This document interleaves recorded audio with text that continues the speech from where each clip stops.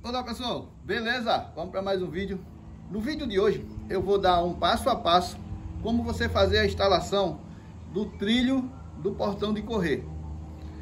Porque muita gente me pergunta e eu já vi alguns relatos das pessoas dizendo que o trilho de ferro ele enferruja após a instalação. Após um tempo ele fica enferrujado e quebra e tudo mais. E no vídeo de hoje eu vou mostrar para você o passo a passo de como você fazer para deixar o trilho como novo o tempo todo.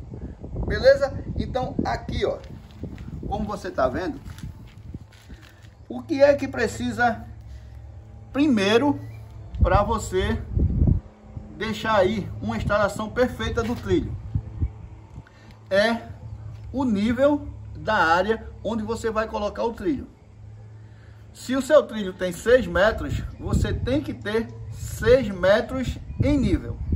Por quê? Tipo, se aqui nessa parte tá alto, aqui no meio tá mais baixo, lá no final tá mais alto, o que vai acontecer? Vai criar uma barriga no meio e quando o portão for passar, provavelmente ele vai encostar na parte da frente do portão ou em cima, na parte do trilho de cima. Então é muito importante que esse trilho que você coloca no chão esteja totalmente em nível.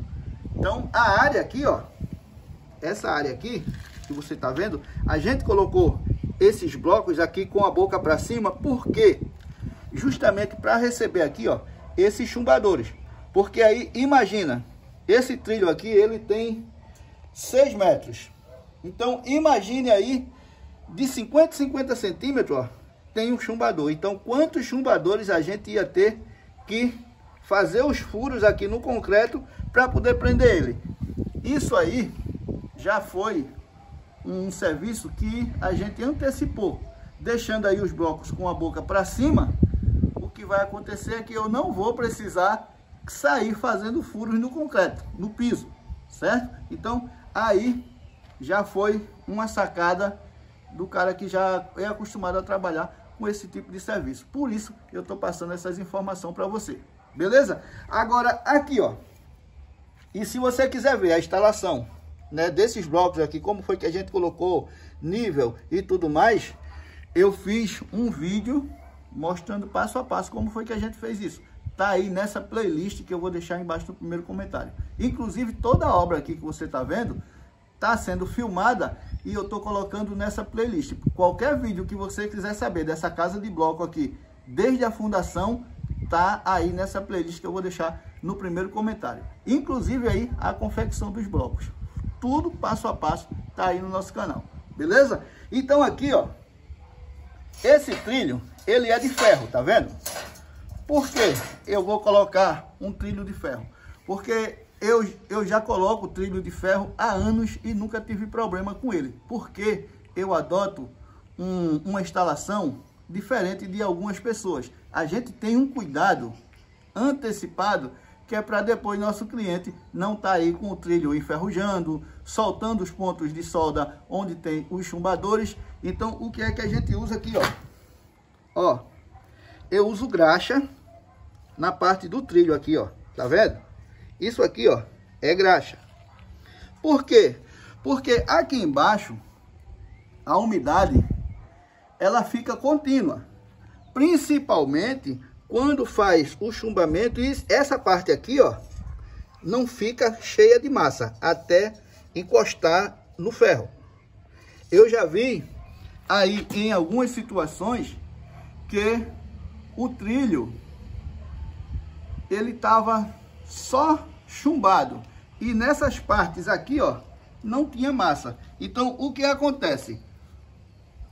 Com certeza, com o tempo, esse trilho vai começar a acumular ferrugem aqui, ó, nessa parte. E quando aí, quando acumula o ferrugem nessa parte aqui, ele vai corroendo e chega a estourar essa parte aqui, ó, da frente. E daí, quando a rondana passa, sai machucando. Então, Muita gente reclama do trilho de ferro por causa disso. Mas vamos imaginar, você vai colocar aí um, um portão pesado de chapa galvanizada.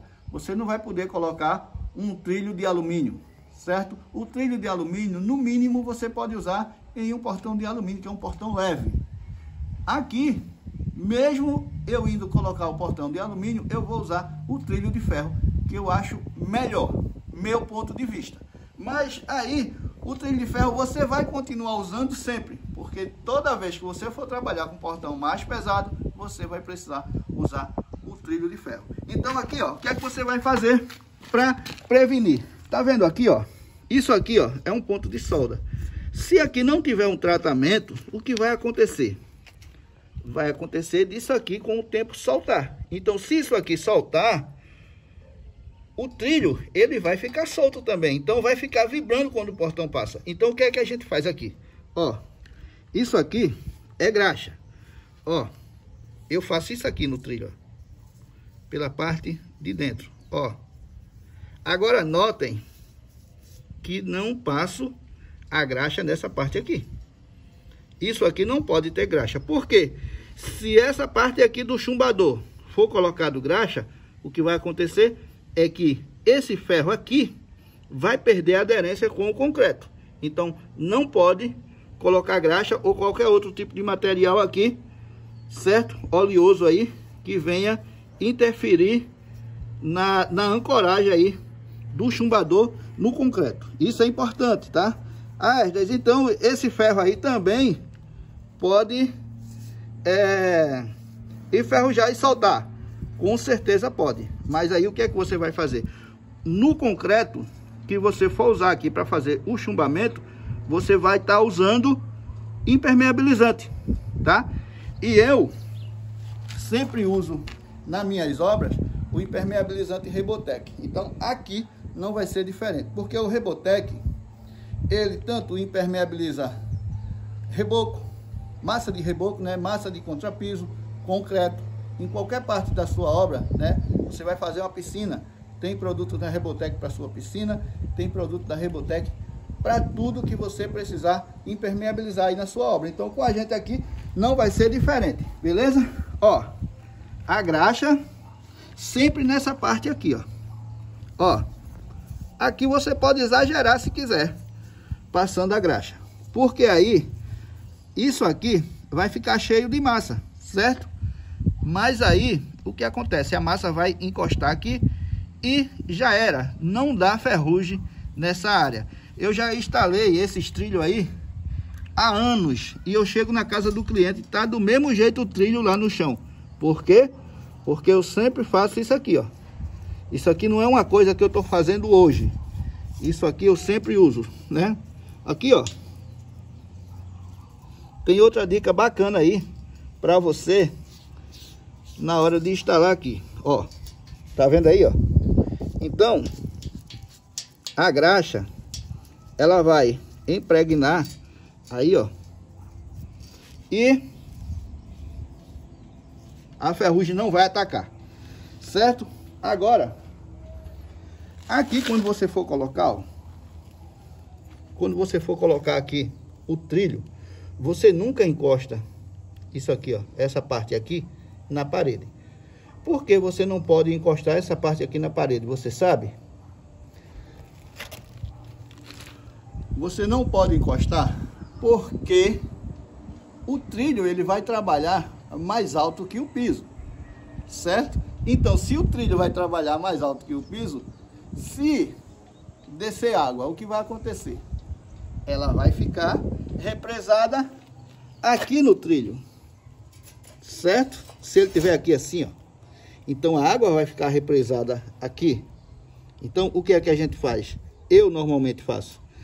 Eu deixo aqui pelo menos 5 centímetros de distância da parede para o final. Por quê? Aqui, ó. O que vai acontecer aqui? Quando a água vem aqui nessa parte, ó, ela vai sair por aqui, ó. Certo? Então, isso aqui é um cuidado que você tem que ter. Em alguns casos aí também, a água vem, não tem lugar para passar, o que é que faz? Ela entra aqui por dentro, ó, e sai seguindo por debaixo do trilho até o final. E isso também vai facilitar aí a ferrugem é, detonar aí o seu trilho, certo? Então, com com esses cuidados que eu estou mostrando aqui para você, você tendo esses cuidados, dificilmente você vai ter problema aí com o seu trilho de ferro. Mas tem que fazer esse passo a passo que eu estou mostrando para você. Beleza? Então aqui, ó, pra gente instalar ele, tem alguns macetes ainda, deixa eu molhar aqui, ó.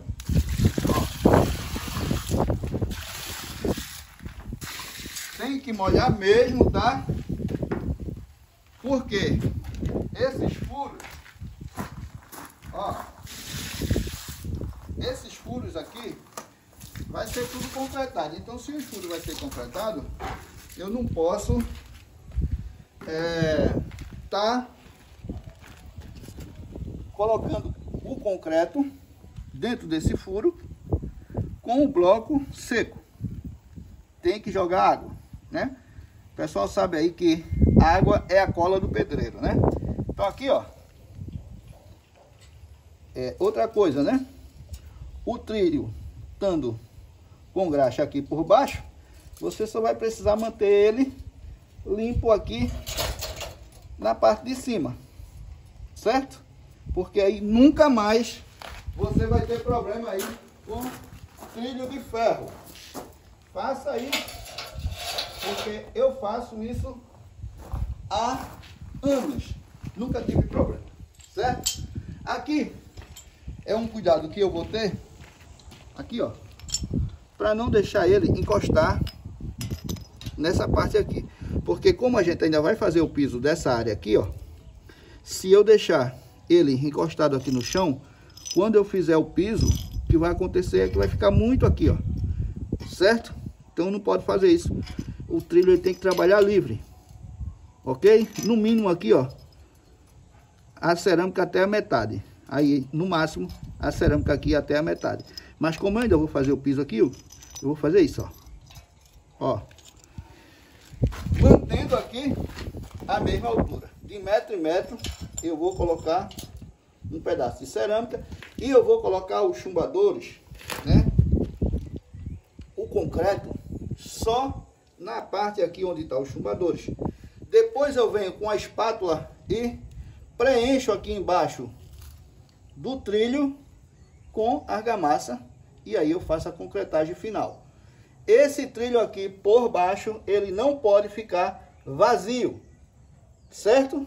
Tipo aqui, ó, nessa parte aqui, vamos dizer, aqui, ó, nessa parte aqui, aqui embaixo não tem massa. Ele não pode trabalhar desse jeito. O que é que você tem que fazer? Você tem que encher de massa aqui, ó. Na hora que for colocar, você já pode colocar a massinha mais alta e já encaixar ele. Ou então, se for fazer o serviço que eu estou fazendo aqui, antes de preencher os buracos aí do bloco, você tem que preencher com massa. Não pode ficar vazio, tá? Então, dê seu jeito aí para preencher o embaixo do trilho. Veja a maneira melhor, certo? Portanto, que não deixe aí embaixo do trilho vazio. Olha aí. Aí também o pessoal tem muita dúvida de a distância, né? Que fica aqui embaixo. Daqui a pouco eu falo para você sobre isso. Olha aí.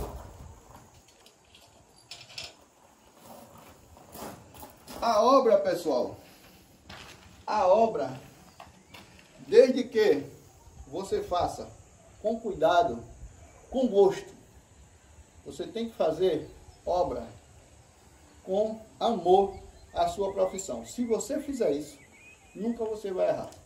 Agora, se fizer de qualquer jeito, com certeza vai ter cliente reclamando aí à vontade, né? Mas aí, ó. Pronto aqui. Colocando esses pedaços de cerâmica embaixo do trilho, eu estou mantendo o nível aqui, ó, dele, certo? Agora vamos para cá. Essa parte aqui, ó. Da parede para cá. Aqui, ó. Isso aqui vai depender do tipo de portão que você vai usar. Ou seja, da largura da, da peça da frente do portão. Normalmente é 5 centímetros aqui, ó. Ó, mostra aqui. 5 centímetros daqui para o eixo aqui, ó. Certo? Então, ó, pra onde ele vem? Aqui, ó. Ele vai ter que encostar mais. Certo? O trilho vai ter que encostar aqui, ó. Para 5 centímetros, tá vendo aí, ó? Mais ou menos ele tem que ficar aqui. Agora, a parede aqui, ainda falta acabamento. A gente vai colocar cerâmica aqui. Então, minha cerâmica vai dar aí uns 2 centímetros e meio, certo? Então, 5 da peça do portão para ele correr livre, mais 2,5 da minha cerâmica, eu vou ter que deixar aqui com 7 centímetros e meio. Aqui, ó, justamente no eixo do bloco onde a gente tinha colocado. Eu já fiz isso porque eu sabia que aqui, por trás do, do portão, vai correr aqui cerâmica, tá? Vai ser todo revestido aqui o muro. Então, se você vai colocar o trilho aí na sua obra, procura saber com a pessoa que vai fabricar o portão qual é a distância que ele precisa aqui para o portão correr livre. Ele falando aí a distância, você vai somar mais o acabamento que você vai fazer se o seu muro não tiver acabado. Então aí, normalmente vai dar 7 centímetros e meio para poder você fazer a, o assentamento aí do trilho. Beleza? Então, eu espero que não tenha ficado dúvida sobre isso aqui. É muito importante você fazer o seu serviço aí com tranquilidade, com conhecimento. Não tenho conhecimento no que eu vou fazer. Procura, se informa, que com certeza você vai fazer o trabalho correto. Beleza? A nossa intenção é essa, é compartilhar o nosso conhecimento para que você, cada dia que passa, melhore aí no seu trabalho.